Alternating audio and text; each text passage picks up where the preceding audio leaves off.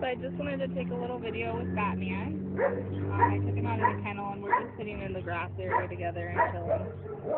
It's pretty much been like this the whole time. He's looking around a lot. He's not really sure what's going on, but he's like, he's okay with being close to me. He comes up, he gives kisses. Come on, you give little face kisses. You give me a kiss. Thank you. That's very nice. Very nice. And he likes his kid scratch. Oh yeah. He's coming around. He just is really shy. His tail hasn't come untucked the whole time I've been out here. Um, we've been out here for probably five to ten minutes, but he'll come around, I think, with time.